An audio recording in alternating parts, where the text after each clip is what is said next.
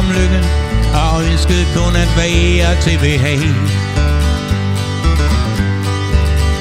Men det liv, som han lovede Er ikke det, hun lever i dag. Men hun klager aldrig over De mange skyer ting, som han har gjort. Nej.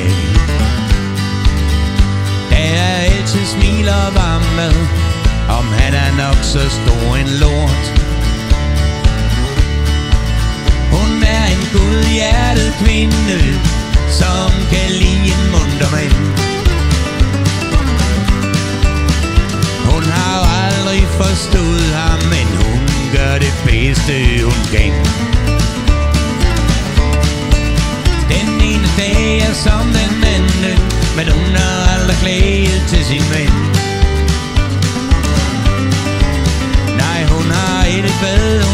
Hun Det siger i hvert fælde her Den ene dag er som den anden Men hun har aldrig klædet til sin ven. Nej, hun har et hvad hun ønsker. Det siger i hvert fælde her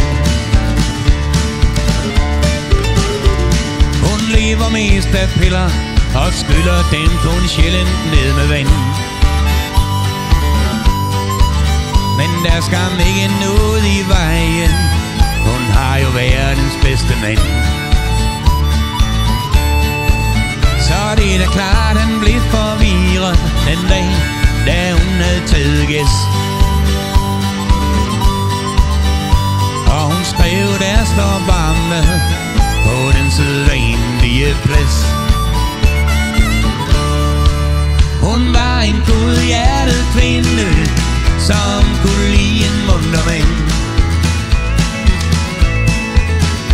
Sagde præsten med graven Og alle øjne stod i vand.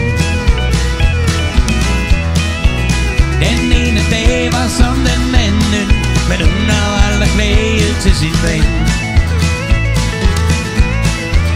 Det sagde præsten med graven Og alle øjne stod i vand.